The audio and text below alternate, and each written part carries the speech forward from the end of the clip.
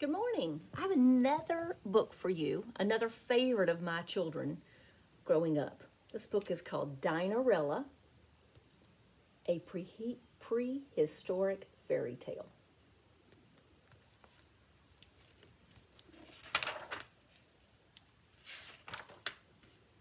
Dora, Doris, and Dinorella lived down in the sand dunes in a dinosaur den.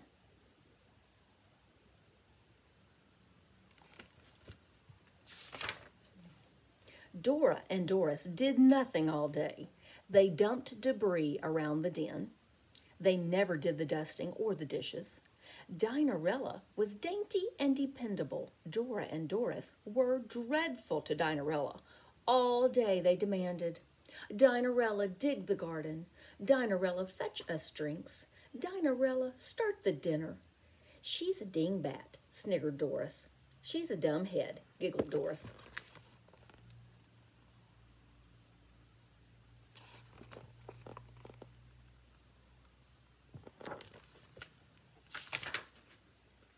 One day a card was delivered to the den. Dinosaur Dance, Duke Dudley's Den, at dusk. Hors d'oeuvres, dandelion cola, dancing until dawn.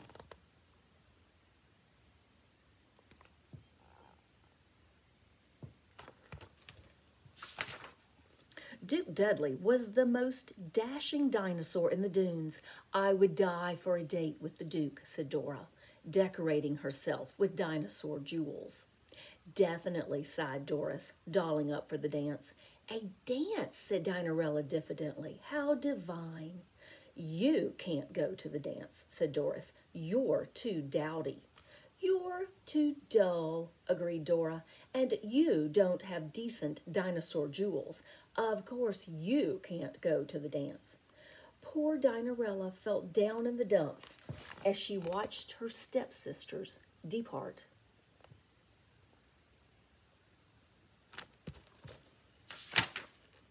Suddenly, Dinorella heard a droning noise. Don't be dismal, cried Fairy Dactyl.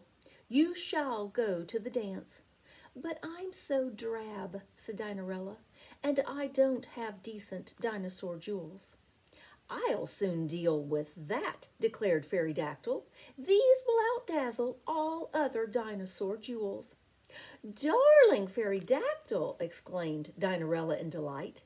With her diamonds dangling, she set out for the dance.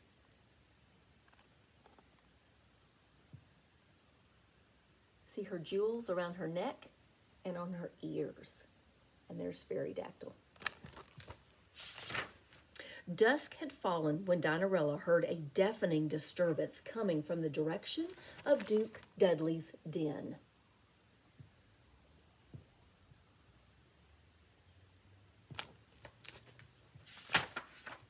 A dastardly deed was taking place. A Deinonychus was dragging off the Duke. I'm done for, cried the Duke. He will devour me. Indeed I will, laughed the Deinonychus. I'll be digesting you by daybreak.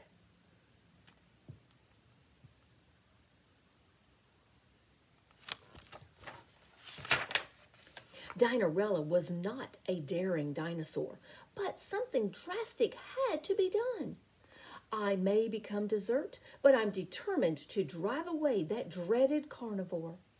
Dinorella climbed to the top of the dune, you disgusting dummy, she roared. Drop the Duke. Dinorella began to hurl dirt balls at the Deinonychus.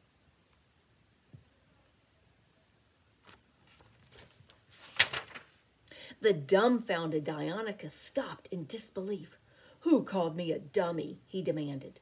The moon's light caught Dinorella's dangling diamonds. Dots and dabs of light darted toward the Deinonychus. A devil, cried the Deinonychus. See its dreadful demon eyes.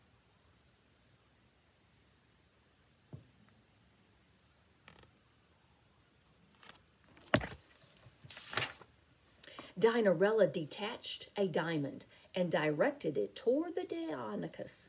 The diamond hit the Deinonychus hard in his dentures. The devil will destroy me with his deadly eyes, bellowed the distraught Deinonychus. He dumped Duke Dudley and departed double quick.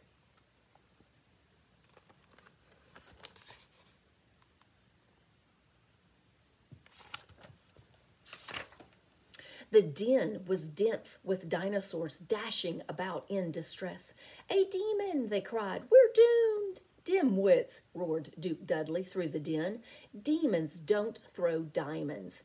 It was a damsel who defended me with her dazzling dinosaur jewel.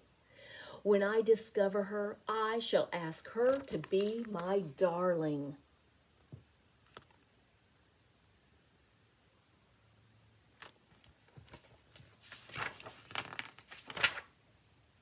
All the dinosaur dames were delirious. The jewel is mine, they each declared. Mine, cried Doris. No, definitely mine, bellowed Dora, giving Doris a dig. I am the damsel you desire. I doubt it, declared Duke Dudley. Your dinosaur jewels don't match.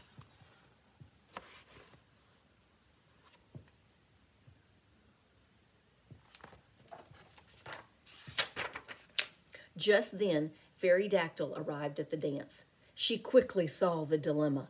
Where is Dinorella? she demanded. Dinorella, scoffed Dora. That dopey domestic. Dinorella, laughed Doris. She's back at the den. But Fairy Dactyl spied Dinorella dodging behind the dune. Dinorella, she directed, come down. So down came Dinorella, looking distracted cried the Duke. She wears but one dazzling jewel.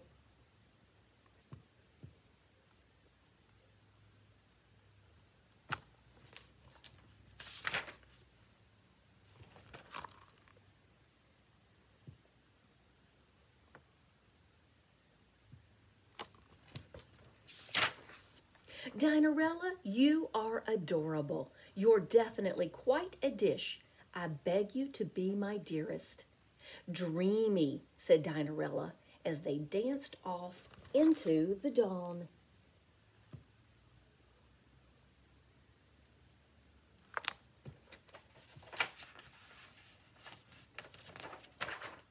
Drat, said Dora and Doris. The end. Hope you enjoyed this book, Dinorella a prehistoric fairy tale.